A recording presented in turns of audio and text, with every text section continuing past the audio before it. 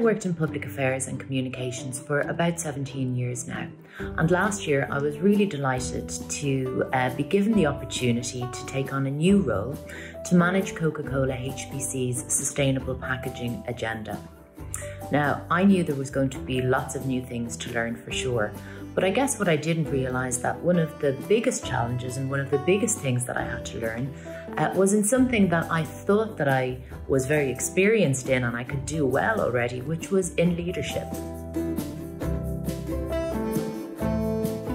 When I moved into my new role, I found myself going from a country team with my own team of direct reports to this group wide virtual team of people with no direct reports.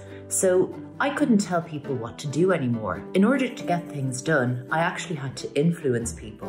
Well, collaboration has always been one of my strong points, uh, but for sure, over the last number of months, there has been times when I've challenged whether that really was the case at all. And this really came into focus for me uh, during the early parts of the lockdown. COVID hadn't changed our sustainable packaging priorities, but people were working in a very different way and suddenly had all these other priorities to juggle. I sat down and thought, what could I do differently? And I guess three things came to mind. First of all, it was to really try and listen to people.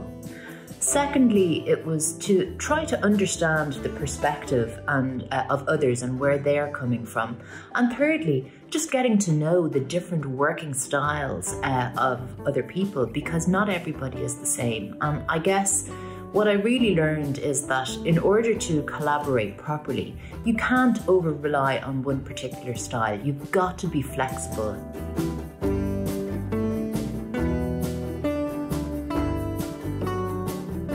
My advice to anybody who looks at a job spec and uh, for something that they're interested in doing and thinks, I don't have all of the, the skills or the experiences that they're asking, is to really stop and challenge yourself. Because no matter what job you go into, you're going to have to learn new things. And sometimes, even the skills that you do have, you end up having to relearn. So, either way, you don't have to have every skill that's listed in order to apply and put yourself forward. Absolutely not.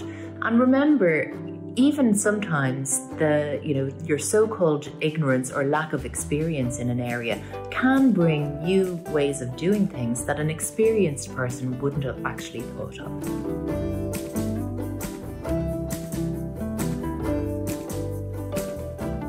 My top tip is if you haven't got a good mentor already, go out and get one. They really do make such a difference.